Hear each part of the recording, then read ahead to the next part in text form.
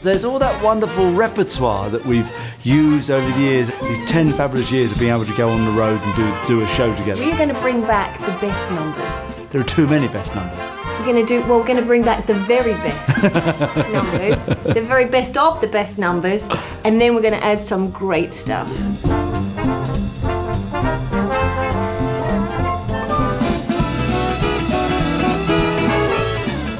Have the hugely talented Lance Ellington joining us, who we absolutely adore and love because he is just so great.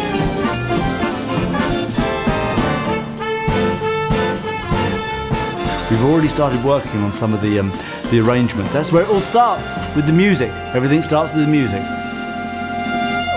It's our 10th anniversary now.